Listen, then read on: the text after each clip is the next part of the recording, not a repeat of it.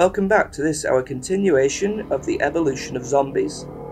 Last time we delved into the production of the virus that would spawn the zombies in the Arklay Mountain incident, inside the management training facility and the Spencer estate. Both zombies and Crimson Heads would run rampant through the region and feast on anything that moves.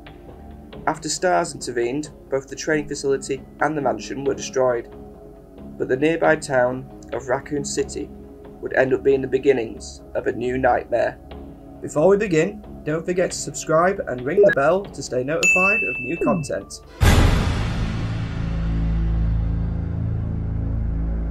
Two months after the outbreaks in the Arklay Mountain region, the surviving STARS members made it their mission to stop Umbrella. After facing blocks on their investigation from Chief Brian Irons, Chris, Barry, and Rebecca all left Raccoon City with Jill and Brad staying behind.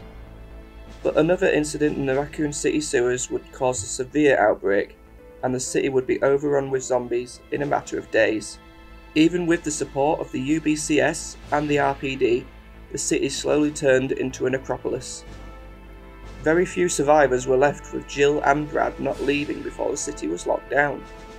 The UBCS and RPD were also down to just pockets of men after several ambushes and assaults by the zombies. This would be the start of the final days of Raccoon City. There are conflicting reports as to what happened during this period, but these are the most consistent events that happened during the Raccoon City outbreak.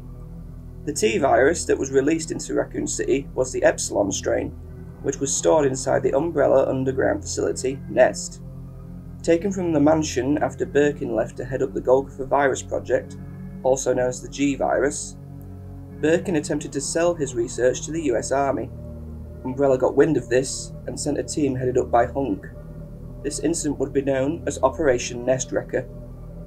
During a standoff, Birkin was severely wounded.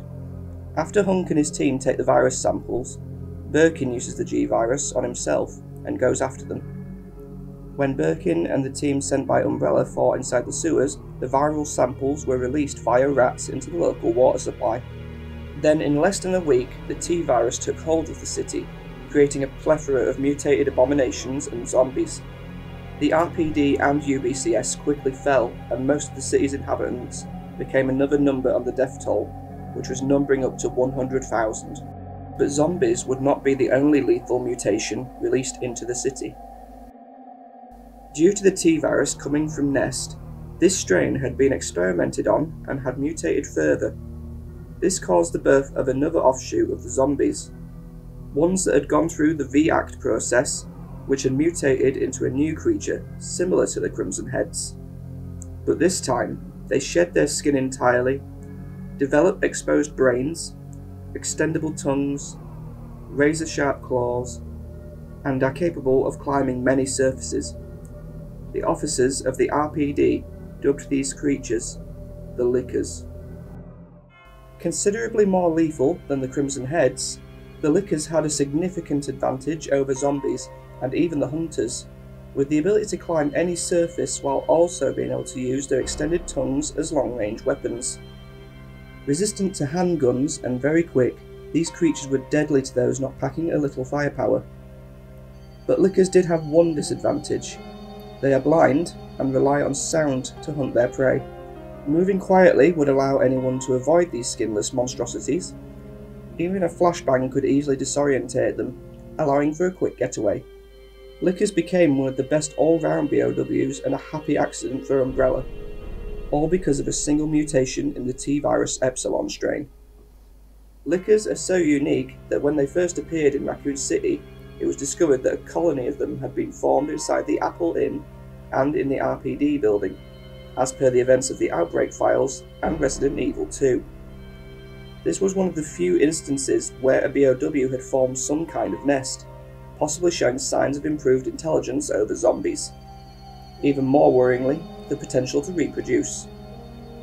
This BOW would be so popular it would be sold on the black market for military purposes. But Lickers would go through several forms throughout their appearances. In the underground nest facility, Lickers would undergo another mutation, as per the events of the original Resident Evil 2. Their other form was the Enhanced. becoming more resilient to firearms, and their three fingered claws morphing into a single sharp claw and two smaller ones, protruding from each hand. Their appearance would also change with their bodies becoming navy blue instead of red. It's uncertain what triggered the mutation, and it hasn't been replicated since. One possible culprit could have been the P epsilon anti-BOW gas that was released into the nest facility. Albert Wesker and Tricell would even experiment on lickers by applying the base progenitor virus to these creatures to create the licker betas. The only real difference with these creatures being a higher reproduction rate and improved sense of smell, but they also gain a new weakness with their hearts becoming vulnerable to knife attacks. Then, after the last Plagas parasite found itself on the black market, a set of lickers was implanted with the slave parasite to be controlled by anyone wielding a dominant Plaga in their body, as seen in the events of Resident Evil Damnation. The zombies of Raccoon City would also have another unique form, which has only been seen once in all the series the Suspended. This creature was formerly a woman whose identity we can only theorise to possibly be the owner of the Apple Inn, or at least a guest who didn't escape the city. She would become infected with the T virus Epsilon strain and mutate into a zombie. Later, after going through the VX mutation, she would become something akin to a licker, with the exposed muscle and extendable tongue, but she would retain most of her human form and be just as dangerous as a standard licker. It is possible the V-Act process wasn't complete and resulted in the half mutated form we know, but she shared their weakness of high pitched noises overwhelming her senses, and would be killed off by a group of survivors trying to navigate the inn. Inside the nest facility, they were experimenting with the T virus by infecting flora and fauna, which resulted in the birth of Plant 43, most likely based on the research notes from Plant 42 at the Spencer Mansion Research Lab. After the failed attempt by Delta Team to retrieve the G virus and the resultant T virus outbreak, Plant 43 would become neglected by the remaining scientists and would kill those who got too close. Any survivors or zombies in close proximity would end up being infected with spores, allowing them to be transformed into plant like ivy zombies, or ivies for short. These creatures would behave just like zombies by eating living flesh, using their evolved large mandibles to devour victims. Also, these creatures were controlled by Plant 43 and most likely acted as protectors rather than seeking out victims constantly. The accounts of the effects of P Epsilon on Plant 43 and the Ivies differ between Resident Evil 2 and the remake. In both instances, the anti-BOW gas had no negative effects on these creatures, but it did destroy Plant 43, stopping the possibility of any new Ivies being created. Also, in the original Resident Evil 2, the Ivy creatures would become poison Ivies, with the ability to spit poisonous acid at victims when exposed to the P Epsilon gas. Ivies would also reappear during the South America incident involving Leon Kennedy and Jack Krauser, this time as Ivy XYs, half human, half Ivy formed creatures that were sold to Javier Hidalgo on the black market. They would behave in the same way as Ivies but with more mobility and speed thanks to their bipedal form. A similar creature, the green zombie, found only in the Arklay Mountain region in an abandoned hospital, was also created. Mutated T virus plants would latch onto a zombie, and through parasitic infection, could embed their roots deep and control their victims. Still behaving like a regular zombie, these green zombies would get close and release a poisonous cloud of gas on their prey. They would also release this poison as a form of defense when attacked too. With William Birkin infecting himself with the G virus and becoming the G creature, he would go on a rampage and infect Sherry Birkin, Ben Bertolucci, and Chief Brian Irons, all with G embryos. All with varying effects and conflicting accounts depending on the scenarios. In the remake, he would infect a lot more victims, including zombies, and they would birth malformed G mutants. But Birkin would also infect some civilians with the G virus itself, via secondary infection which would create the G zombies. These would behave the same way as regular zombies, but with the distinctive eye that belongs to all G infected subjects. Also, because the virus was not injected directly into the victims, these zombies would not gain the regenerative and mutating properties of the standard G infection, and would still become necrotic eating machines. During the events of the Resident Evil 3 remake, the Nemesis Tyrant displayed the ability to infect zombies with a duplicate of the Nemesis parasite, which would envelop the head of its victim and control them. The head would now have claw-like appendages acting as a shield against bullets and only open when the body took damage, or when the zombie fell to the floor, or when they are about to attack, by smothering the head of a victim in close proximity. They also had a whip-like appendage similar to the tongue of the lickers to attack prey at a distance. This hybrid creature was only seen in Raccoon City, but bared a striking resemblance to the Plaga-infected Ganados of the incident in Spain in 2004. Capcom even confirmed that the Nemesis Alpha parasite was designed to be a man-made version of the Las Plagas parasites. The final zombie type was found inside the underground Nest 2 facility connected to the Spencer Memorial Hospital. This zombie was different with only calcified almost melted skin covering their bodies. Their eyes have gone and they are able to regenerate from injuries at a very fast rate. These creatures were the Pale Heads. Just like all zombies of the Raccoon City incident, they were created from the Epsilon strain of the T virus, but researchers were uncertain what exactly caused the change. Whether it be part of the V-Act process or some other outside influence, it is unknown how these came to be, and haven't so far been seen anywhere else. After the US government launched a missile strike at the city, cleansing the city and some of the surrounding mountains, the outbreak was contained, and the majority of the population all being killed in the missile strike.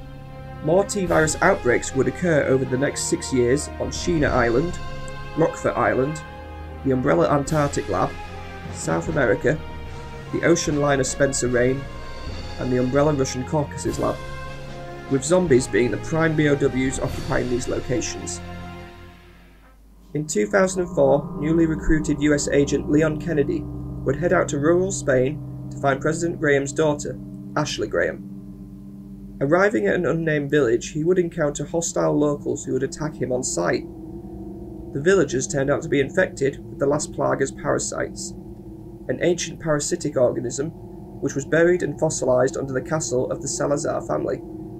But the local cult, the Los Illuminados, or the Enlightened, headed up by Osmund Saddler, would unearth these creatures, and through the infection of airborne spores, it was discovered that the plagas were just dormant, not extinct. With the help of scientist Luis Serra, Saddler and the Illuminados began experimenting on the Plaga parasites. They were able to create a dominant Plaga, allowing a host to be able to control subordinate parasites in their victims. The victims with subordinate parasites in them would be known locally as Ganados, more commonly translated as livestock. While not zombies in the traditional sense, these Ganados would share some traits with their necrotic relatives, those being the use of superior numbers to swarm their enemies, increased strength, and resistance to knife attacks and also gunfire.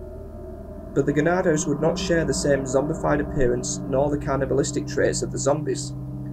Instead, they would still behave like normal people until they perceived a threat and turned violently aggressive, using weapons and melee attacks on their enemies.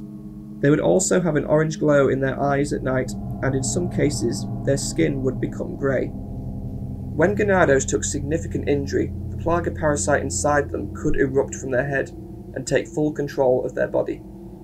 There were three types of parasite that could form A, B, and C.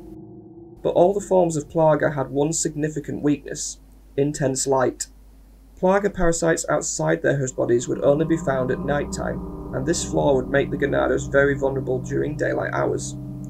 The plaga parasites would be also used in the creation of other animal human based hybrid bioweapons, through gene splicing and experimentation by the Illuminados.